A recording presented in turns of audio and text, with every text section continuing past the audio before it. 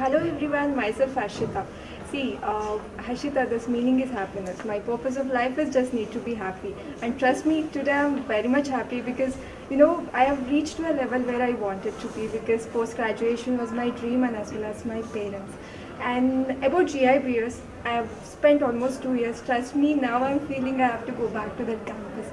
And, uh, you know, the exposure which I've got in GIBS and totally I love GIBS and I love GIBS. Thank you